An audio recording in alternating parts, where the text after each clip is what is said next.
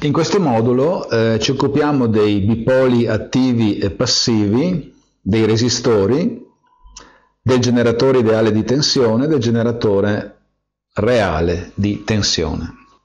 Definiamo innanzitutto il bipolo. Il bipolo è eh, qualsiasi eh, tratto, qualsiasi parte di circuito elettrico che presenti due terminali.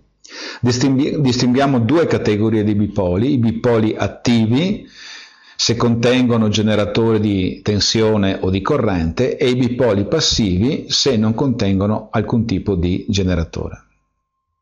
Occupiamoci adesso del bipolo passivo per eccellenza, il resistore. Noi sappiamo già che quando è percorso da una corrente, il resistore dà origine ad una caduta di tensione che ha una polarità positiva nel terminale di ingresso della corrente e una polarità negativa nel terminale di uscita della corrente. Parliamo appunto di corrente convenzionale.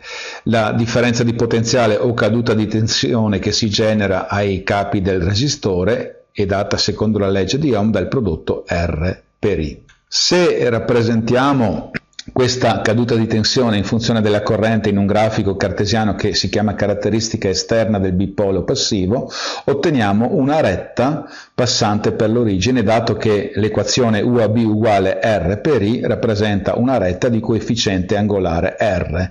Il coefficiente angolare R è come sappiamo dalla geometria analitica, la tangente dell'angolo alfa che eh, forma la retta con l'asse delle ascisse.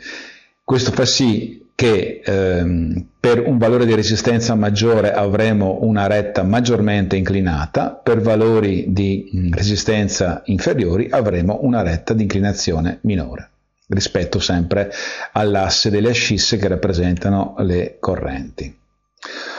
Sappiamo anche che la caduta, la caduta di tensione ai capi del resistore è determinata dal verso della corrente, quindi se si inverte la corrente si invertiranno anche le polarità della caduta di tensione come eh, è rappresentato in questa eh, figura.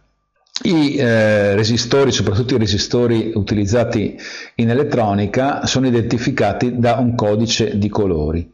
Il codice eh, di colori è eh, realizzato attraverso delle bande colorate, la prima banda rappresenta la prima cifra, nel nostro caso essendo la prima, la prima banda rossa avremo un valore 2, una cifra 2, la seconda banda rappresenta la seconda cifra, colore viola quindi 7, la terza banda è un moltiplicatore e rappresenta il numero di zeri che devono oh, seguire le prime due cifre. In questo caso abbiamo verde, verde corrisponde a 5, quindi avremo 5 zeri. Il valore allora di questa resistenza sarà di 2.700.000 ohm o 2,7 mega ohm. La quarta banda, in questo caso colore argento, rappresenta la tolleranza, tolleranza nel nostro caso del 10%. Cosa significa? Significa che il valore eh, effettivo della resistenza sarà compreso tra 2,7, valore nominale, più o meno 0,270 MΩ, ovvero 2,7 più o meno 270.000 ohm.